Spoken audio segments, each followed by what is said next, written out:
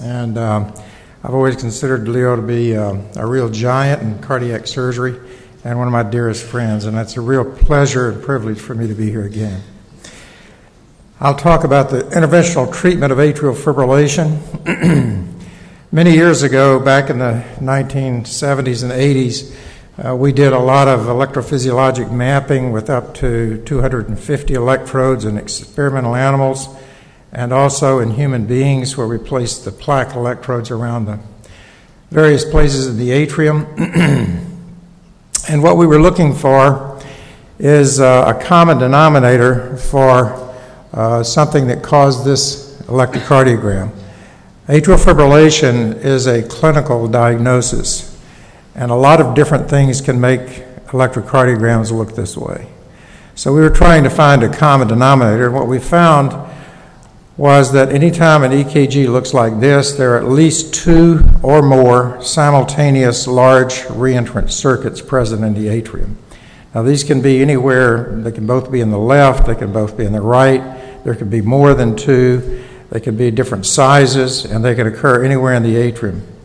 But as long as there are two or more of these present, it will give you a diagnosis of atrial fibrillation. So, knowing that, we thought perhaps we could put lesions uh, in the heart and uh, put them close enough together that these large reentrant circuits could not form. Uh, one of the ways to do this, of course, is just to bread loaf the heart, but then one wouldn't have anything left. So, uh, at that time, uh, the only thing that was available for the treatment of atrial fibrillation was catheter fulguration of the His bundle. And um, this was in 1987. Uh, we did the so called maze procedure. Now, the idea was that we had mapped, or, or at least there had been reported, all of these different reentrant circuits in the atrium. And the idea was to place these incisions around over the atrium so that these reentrant circuits could not form. So the first goal was to ablate all of the potential macro reentrant circuits and that could be done quite easily. The second goal, however, was the resumption of normal sinus rhythm. This is why you did not bread loaf the atrium. So, by putting them in certain places, um, it allowed the sinus node to generate an impulse that had one true route into the AV node and ventricles, and it also activated all of the rest of the atrium as well to allow it to, to um, beat. So, you had one entrance and one exit you had one true route between the two, and you had multiple blind alleys, so that's why we called it the maze procedure. Now, we went through several iterations of the maze procedure over the next several years. This was 1987, and uh, by 1995 or 1996, we developed it into a minimally invasive cryosurgical procedure. But the next really important thing that came along was Michel Haissaguerre in Bordeaux published his uh, findings that atrial fibrillation is induced by triggers in and around the pulmonary veins, and so pulmonary vein isolation was a reasonable thing to do. So we knew what patients looked like in normal sinus rhythm. We knew what they looked like in atrial fibrillation, but this was a gap. We did not know what induced the atrial fibrillation, and that waited uh, over a decade before Haissaguerre showed us that uh, these episodes are actually induced by triggers in and around the pulmonary veins in 90% of patients and elsewhere outside the pulmonary veins in 10%. Now, he originally thought that all these triggers were located actually inside the pulmonary vein orifices, but they were not. As we learned later, uh, they can come from anywhere around here, but if you encompass this entire area, you theoretically should get 90% of them. We've also learned since then that these are all in standalone atrial fibrillation patients. And in patients surgeons see, for example, with mitral valve disease, rather than 90 10, this may be more like 70 30. But be that as it may, uh, what John Boineau, my mentor, Rick Schuessler, and I showed back in the 80s then was actually how atrial fibrillation is sustained once it's been induced. What Haissaguerre and Piaget showed it uh, a few years later was how atrial fibrillation is induced. And this allowed this fit like hand in glove and allowed us to understand then the difference in how patients and why patients present to us clinically. For example, a patient in paroxysmal atrial fibrillation is in normal sinus rhythm most of the time, and then has a trigger usually around the pulmonary veins that induces an episode of atrial fibrillation, and that episode is usually self limiting. So that after a few hours, uh, the, the patient will resume normal sinus rhythm. So, this is the cycle of what's called paroxysmal atrial fibrillation, and obviously the culprit is the PAC here. Now, you have to have an atrium that's vulnerable to the development of atrial fibrillation because we all have a lot of PACs that do not induce atrial fibrillation. But the uh, fact of the matter is that if you are vulnerable and you can sustain these reentrant circuits for a while, then these PACs or these triggers can induce an episode. A further problem comes when these reentrant circuits became, become self perpetuating. And in that situation, these episodes are no longer, no longer self limiting and they don't convert back to sinus rhythm, but they become prolonged, persistent, or even permanent. In that situation, you have what can be lumped into one big category of non paroxysmal atrial fibrillation, and these, uh, this, these triggers have little or nothing to do uh, with the atrial fibrillation once this is sustained. So, if you're going to treat it, uh, you have to do something about these reentrant circuits. So, from an interventional standpoint, that is, catheter ablation or surgery, there are really only two categories of atrial fibrillation. One category is caused by triggers, usually in and around the pulmonary veins. It's called paroxysmal atrial fibrillation. And uh, the atrial fibrillation is either paroxysmal or it's not. And if it's not, uh, non paroxysmal atrial fibrillation includes persistent, long standing, persistent, and even permanent. This is from an interventional standpoint because these people are going to be treated with a pulmonary vein isolation, and these are going to have to be treated with a maze procedure or something more drastic than a pulmonary vein isolation. So we're back now to the minimally invasive maze procedure and the pulmonary vein isolation in 1998, and something very strange happened at that point. Uh, there were a lot of new energy sources developed to isolate these pulmonary veins, and there were a lot of people who got involved, surgeons and cardiologists, to create a lot of new lesion patterns, believing that we could no longer, no longer had to do a, a complex maze. These are the energy sources prior to 1998. These are the ones after 1998.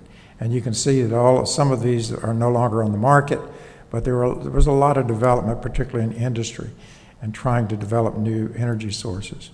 In addition, there were new lesion patterns. Uh, there were some incomplete or bizarre lesion patterns like this one. I'm not sure where that came from. Um, so a lot of these lesion patterns had not been uh, were not applied appropriately. In addition, the right atrium was completely ignored in virtually all of these, which means you're going to fail a significant amount of the time. And in addition, there was no coronary sinus lesion in any of these patients, which uh, adds another 10 or 15 percent failure rate. So the results were not as good as, as we'd hoped. And, and, and, and the problem was that we're now 15 years down the road and, and we have what I call bad algebra. If somebody gives you this formula and asks you to solve for x, there's no way to do it because you need only one variable, and there were too many variables here. So we're facing the same situation. If x is lesion patterns and y is energy sources, and we have this huge failure rate, is it because of the lesion patterns? Or is it because of the energy sources? Most people over the years have, have blamed it on the energy sources. Uh, that uh, RF is no good, or that cryo is no good, or the microwave is no good. But the fact of the matter is that most of these energy sources have been applied uh, with lesion patterns that were applied incorrectly.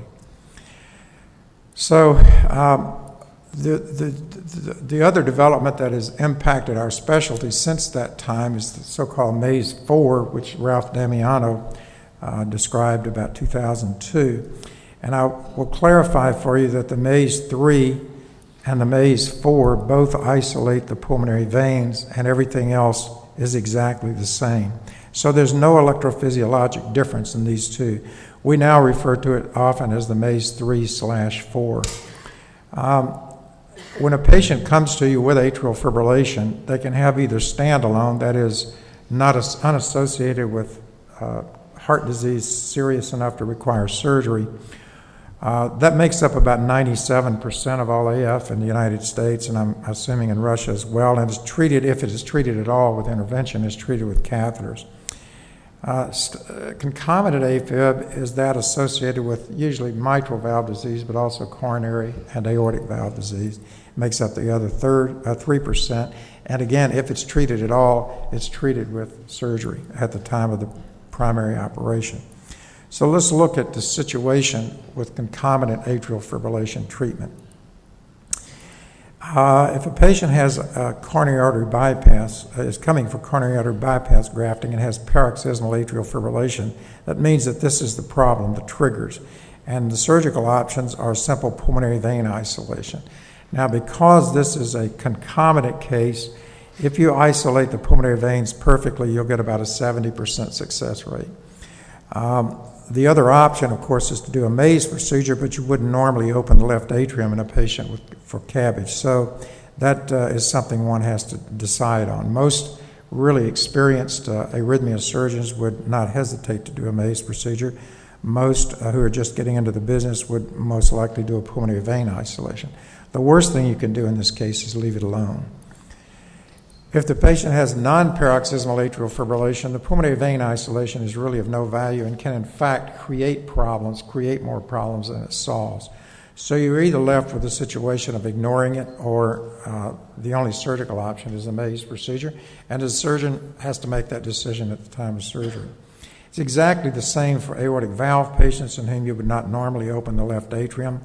Uh, the options here are pulmonary vein isolation or a maze, and with non PAF, the options uh, are the same just with the maze procedure.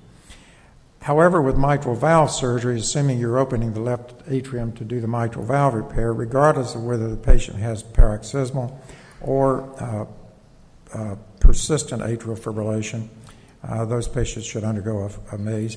And in experienced hands, this adds about 15 minutes to the procedure, so it's not a big deal. If you look at the treatment of concomitant AF in the United States in 2009, there were about 103,000 patients who entered our operating rooms for either coronary bypass, mitral valve surgery, or aortic valve surgery. About 100, uh, sorry, there were about 400,000 of those, but 103,000 of them also had atrial fibrillation. And only 20% of them were actually treated. So one out of every five, uh, four out of every five patients were ignored. Um, when you looked into the reasons, it was because most surgeons felt that you added risk to the surgery. So Niv Ad uh, did this uh, uh, paper a year later and asked about uh, uh, do we really increase the operative risk by adding the maze and said no. In patients with aortic valve surgery and CABG, the addition, opening the left atrium and adding the maze 3 did not convey an increase in morbidity or perioperative risk. Ralph Damiano subsequently looked at it in patients with mitral valve surgery and found the same thing. So, adding the procedure in experienced hands does not add any uh, risk to the operation. The benefits of the operation, there are many. I've pulled out a few of the most important. There's a significant difference in the uh, incidence of long term stroke uh, following surgery in treated and untreated patients. There's a significant difference in uh, thromboembolism from the valve itself, uh, as well as from atrial fibrillation. Uh, there's a decrease actually in all cardiac complications in the treated patients as opposed to the untreated ones. And there's an improvement in long term survival. Now, these are not prospective randomized trials, uh, but they are done in, in, excellent places by excellent people like Rick Lee from, the, from Northwestern. So, now, as a result of some of these publications in 2013, we're up to about 40% of these patients being treated as opposed to 60%. What about standalone atrial fibrillation? Well, that's now the, uh, relegated to catheter ablation in terms of interventional treatment, though there are some, patients, uh, some uh, centers in the states where standalone surgery is done for atrial fib, but not many. If you look at the distribution, uh, the current status of, uh, uh, of, the number of catheter ablations that are done, only about 2% of the people who have atrial fibrillation actually undergo catheter ablation. 3%, uh, as I said, have, um, have atrial fibrillation associated with surgical conditions. And the other 95% are treated with drugs. Um, that represents about 3 million people in the U.S. So, over the last couple of years, there have been three major publications on the success rates of catheter ablation for AF. One was done by the Hopkins Group, headed by Hugh Calkins. One was done by Haissaguerre himself, published in uh, three years ago, and the other by Karl Heinz Kuck, who is uh, uh, one of the most outstanding uh, surgeons uh, or catheter ablaters in the world in, in Hamburg. Uh, if you look at the results that they report in these series, the reason I pull these three out is because they have a long term follow up. Most of the papers on catheter ablation report the one year results. And I've said before, that's very much like reporting the one year results for pancreatic cancer. Uh, a Whipple procedure is extremely effective for pancreatic cancer if you look at the one year results. At five years, they're all dead. So uh, I think we're in a, pro- in a situation now where we really should not be publishing papers that have one year follow ups. If you look at Hugh Calkins' paper, he went to two years, actually 26 months. And a single catheter ablation success rate at two years was 28%. With multiple catheter ablations, it was up about 65% at two years. If you look at Haissaguerre, he did uh, he evaluated his results at one year, two years, and five years for single catheter ablation, and he reported a result of 29%. Uh, his multiple catheter ablation results were, of course, better, but still about 65%, 63% at five years. Carl, uh, uh, Karl Heinz Kuck looked just at long standing persistent AF, and at five years, the success rate was 20%. Uh, for multiple catheter ablations, it was 45%. So if you look at the five year results that are reported by the leaders in their uh, literature, I think it's safe to say that the five year results for single catheter ablation are about 25%, and the five year results for multiple catheter ablations is about 50%. Now, in Haissaguerre's group, 63% of those people had paroxysmal AFib. And in Calkins' group, 50% had paroxysmal AFib. And Karl Heinz Kuck's group, all of the patients had long standing persistent. So we're beginning to get a handle now on what uh, the real results are. Are the right atrial lesions necessary? I put this in because I'm constantly asked this question, and we constantly see papers coming out saying they're not necessary. Well, this was a, uh, a uh, meta analysis done by Niv Ad uh, uh, a few years ago. At that time, 69 papers had been reported, 5,885 total patients and the bilateral surgical procedures were more effective. Uh, these are the results when both, both sides uh, were approached. These are the results when the right atrial lesions were left out. If you look at the other reports, either surgery in red, single catheter ablation in blue, multiple catheter ablation in green, the results uh, of all these, even if you do surgery and you can define it to the left atrium with no right atrial lesions, are in this range. If you look at the ones, surgery and hybrid procedures, both RA and LA lesions obviously give you better results. So the question then is what's going to happen to these group of patients here? That there are really two options. The catheter ablaters can either pace a blade and now occlude the left atrial appendage, or they can join with the surgeons to do hybrid procedures, which has really become popular recently.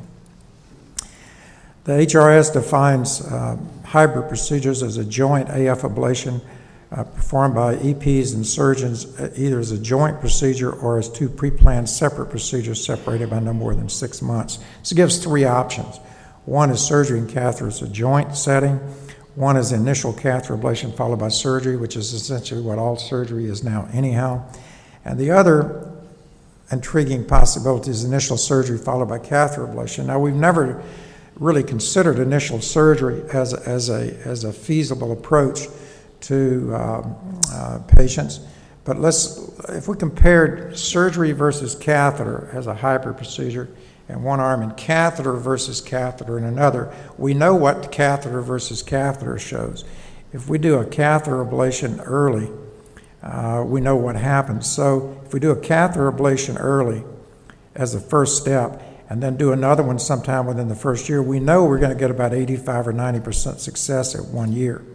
But we also know that by five years, it's going to be down to around 50% or 55%. If we do surgery first, we'll get about an 80%, 70 or 80% initial success rate, followed by a catheter ablation to touch up and add a couple of lines. And we know that, uh, at least in one experience in Italy, 92% success at three years, which projects to about a 90% success when surgery is done as the initial procedure at five years.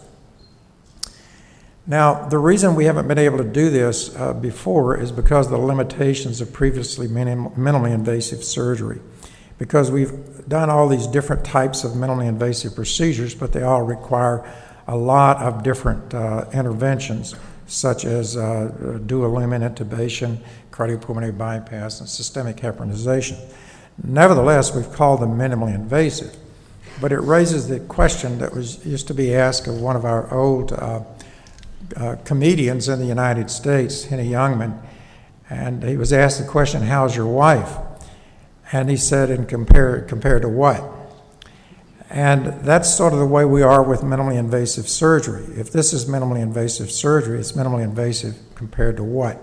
Well, it's minimally invasive compared to a median sternotomy.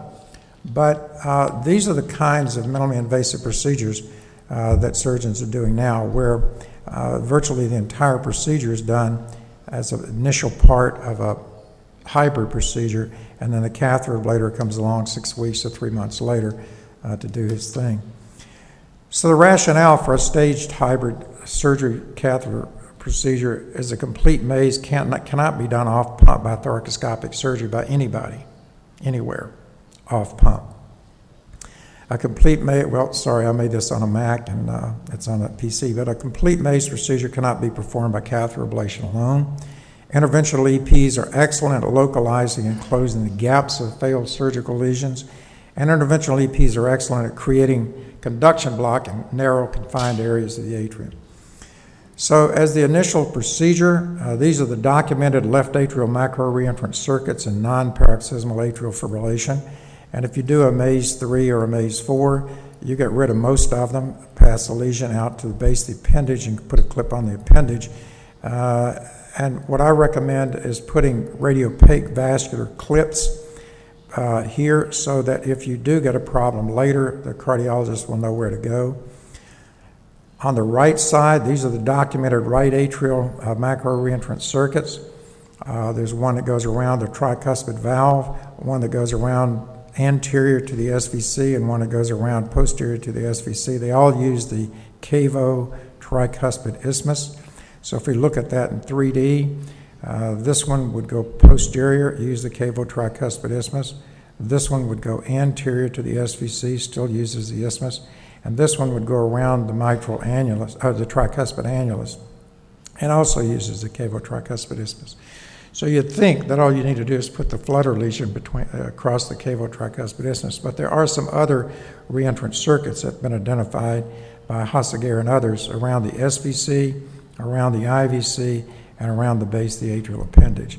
So what we recommend uh, as a part of the original surgical procedure is to uh, put a linear lesion between the SVC and the IVC, which eliminates these put a lesion out to the atrial appendage. Both of these lesions can be performed quite easily um, through a thoracoscope in the right chest. And you do leave the possibility of this one, but the cardiologist can get that one later. So this would be the completed initial procedure, the left and right, all of which can be done uh, pretty easily with a thoracoscope, but this is not a complete maze procedure.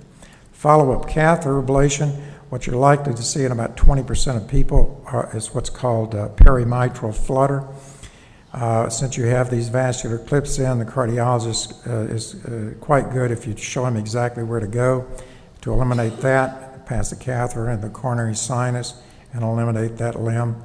And uh, if on the right side the patient has had uh, an episode of atrial flutter, then a simple flutter lesion there will stop it. And then also the cardiologist can touch up any of these lesions that may have failed over a six or 12 week period of time. So the final hybrid procedure would in fact be a maze procedure. This would be the initial surgical procedure. Several weeks later, uh, the completion uh, with, the, with the catheter and touch up of any of the lesions here.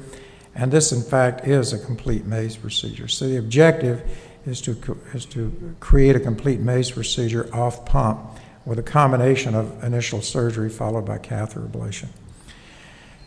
Uh, one of the things that I think uh, makes this attractive is that we hopefully will, will eliminate the uh, problems that we faced back here when we, when we first started trying to do less of a procedure. So I think that the reason this is the direction we're going in surgery is that it will continue to be extremely difficult to do this with catheter ablation alone. It'll, it'll continue to take EPs a long time to do it if they do it at all. With the hybrid procedure, it's very important that the cardiologist will still be the gatekeeper for the patients. We should not be competing with cardiologists for these patients. And finally, it should be very quick and easy to perform, and several can be done in a day. And there's no reason that the outcomes should not be equal to those for AF surgery. Again, I very much appreciate your, the opportunity to speak here, and I'll entertain any questions. Thank you.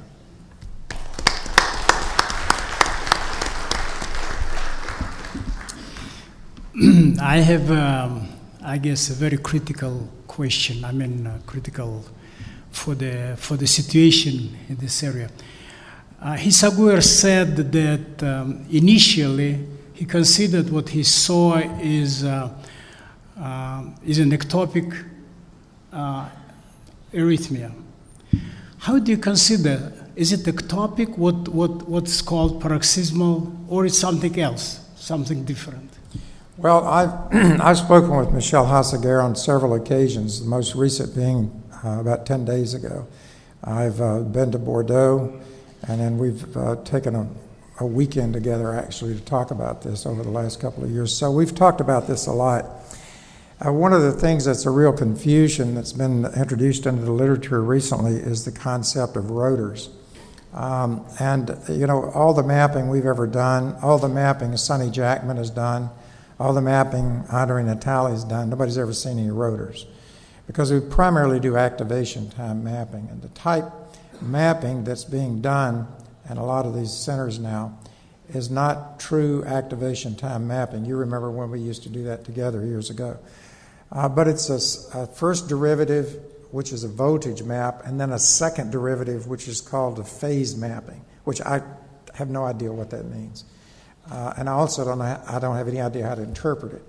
So my simple question has been to Michel uh, Haissaguerre is I'll accept whatever you want to teach me if I think it's correct. But if I put a lesion here and I put a lesion here, tell me how that stops a reentrant circuit that's being sustained by something this big in between. If you can explain that to me, I'll buy it. But the fact is that if atrial fibrillation were sustained by focal mechanisms as their primary way of sustaining, the maze procedure would never work. There's no way it would work. So I, I simply have no other explanation. I have no explanation for what they're seeing. Yeah, I think uh, that's very important, your explanation, because there are many electrophysiologists inside this room, and you know, they should be very clear. And for example, I'm very much satisfied by this lecture and arguments you gave. You know, it's. Uh, we have, we have to publish it in uh, Russian journals. well, at the mind. HRS meeting in San Francisco last week, I specifically, I've always been very close to Sonny Jackman, as I know you have. And I asked Sonny, um, I, I, said, Sonny, I want you to explain this to me. And I also I talked with Michel, he was also there. Um, but there's no language barrier between Sonny and me, and we've known each other for many years. And I said, You need to explain this to me because I simply do not understand it. And his answer was, I don't have a clue what they're talking about. So I said, Well, if you don't understand it, that makes me feel a lot better because I don't understand it either. Uh, when he was standing here in this auditorium, I'm Haissaguerre, I, uh, I asked almost the same question, and he said that you in the operating room see and can do much more, and that's why maybe your answer is more correct. Maybe. Marco? Just for the sake of audience, um, I must tell you that Dr. Cox uh, referred to his talk all the time about the maze procedure. For the rest of the world and for all of us, it's called Cox maze procedure. so, to just give a proper. Well, I've never referred to it that way because I don't think my mom would have liked that. just. he can't do anything because he he said a couple times that you know people thinks that Maze is a name. And that's why he started adding his name, his real name. No, no, no. I, I never added my name to it. But a question here, uh, Jim. we had, of course, some experience with this, and we had the impression that the sinus rhythm, after properly performed Cox Maze 3, is somewhat deficient in terms of a certain chronotropic incompetence, meaning if you let the patient run the stairs, he will not increase his heart rate as a normal sinus rhythm. What's your experience? Yeah, that, we had that experience with the Maze 1 because we were putting lesions through the what we call the sinus tachycardia area, which is where the SVC comes into the right atrium just anteriorly there. That's why we went to the Maze 2, as, as a matter of fact. Um, there, there been a lot of, there's always been a lot of concern about this procedure causing injury to the sinus node. And uh, I, I, think it's, it's a bit misleading. There, there are basically three or four groups of patients. There are a group of patients who come to the operating room who already have pacemakers. So those should be excluded. That may be 10%. There's another group of patients who have long standing persistent atrial fibrillation, and you can't determine what the status of their sinus node is. And we know that about 20% of those people have a deficient sinus node. When we get rid of the atrial fib, then you find they have a sick sinus node syndrome. Um, that's 20% of all patients who, that, who you can't check beforehand. There's another group of patients in our series who we were able to check before surgery and found that they did have a sick sinus node. So we'd tell them you're going to have to have a pacemaker afterwards. And then there's a fourth group who we were able to check their sinus node pre op, and they were normal, perfectly normal. We had 115 patients. One of those patients required a pacemaker. So I think that the idea that if a properly performed that a properly performed procedure causes the problem is not really true. I think that what really happens is you unmask um, a sinus node that's deficient. And remember that virtually all antiarrhythmic drugs can cause damage, permanent damage, to the sinus node. So it's, uh, it's a very complex problem. Uh, probably sometimes you do damage it, but I think it's very rare. Ludwig? Ludwig Segesser, Lausanne, Switzerland. Dr. Cox, uh, you showed us very nicely how to uh, get back to a sinus rhythm or something similar. Can you tell us something about transport function, shortening fraction of the atrium? Yes, yes. The, um, probably the thing we studied most when we were developing this uh, procedure was transport function because uh, obviously if you do all these lesions, um, regardless of how you do them, and the atrium is not working afterwards, then you may as well put a, you know, may as well ablate the His bundle and put a pacemaker in. So we looked at it from a lot of different standpoints, as have others over the years with dynamic MRI scans and so on and so forth. And the best way to look at it is transesophageal echocardiography. Um, what we found is that uh, well over 90% of the patients still have good function of the left atrium. Virtually everyone still has good function of the right atrium. And um, Amaran will remember quite well a left atrial isolation procedure that we did years ago, where we isolated the left atrium from the rest of the heart. I think he wrote his thesis on it. But nevertheless, um, that gave us an opportunity to look at the function of the right atrium compared to the left atrium, or, or separate from the left atrium. So we reproduced sinus rhythm by putting an AV sequential pacemaker between the right atrium and the left and so on. And what we found is that as long as the right atrium and right ventricle are in synchrony, in the presence of a normal left ventricle, it doesn't matter what's going on in the left atrium. The, whether it's contracting, beating in synchrony, fibrillating, whatever. However, Um, the 20% increase, so I think the contractile function, even a normal atrium, is quite overrated. What's not overrated is the synchrony of it. I equate it um, to swinging a child in a swing, and if you stop that child each time and push again and stop them and push again, then you have to exert a lot of energy. But once that child's swinging, all you have to do is give a little tap at exactly the right time to keep that child swinging forever. The, I think that the atrial contraction is probably more like an atrial tap.